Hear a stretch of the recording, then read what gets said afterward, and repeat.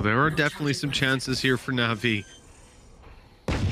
Cloud sneaking above. That's perfect, but he's caught. Um. so I um.